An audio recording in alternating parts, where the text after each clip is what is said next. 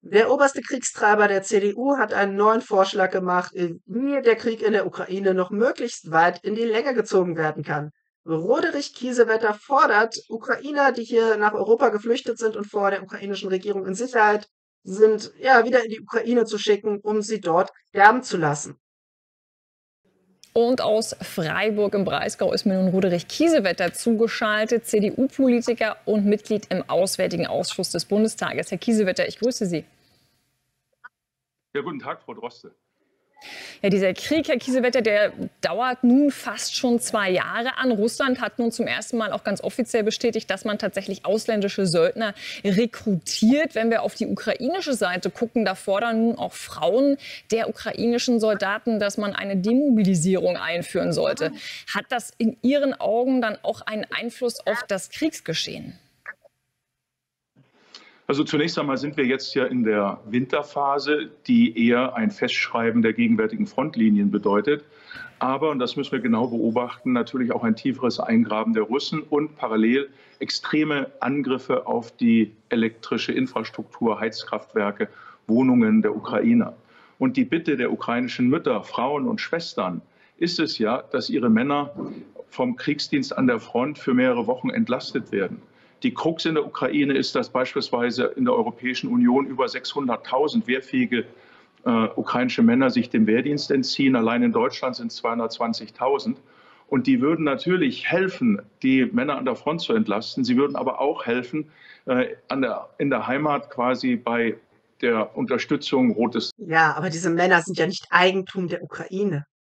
Es ist ja keine Pflicht, sich äh, für sein Land sterben zu müssen.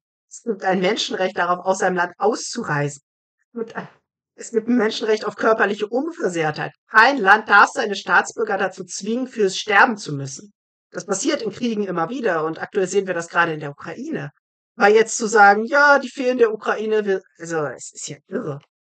Des Roten Kreuzes beim Aufräumen von Trümmern, bei der Feuerwehr, bei der zivilen Unterstützung. Also wir sollten auch als Deutsche einen Appell an die wehrfähigen jungen Männer machen. Auch die Europäische Union sollte dies tun. 600.000 junge Männer und allein die 200.000 in Deutschland, das wären allein in Deutschland über zehn Divisionen.